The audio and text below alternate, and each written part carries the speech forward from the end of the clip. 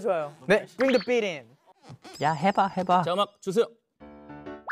어, 야라고 해도 돼, 내 거라고 해도 돼. 우리 둘만 아는 애칭이 필요해. 연준이 형, 수빈이 형.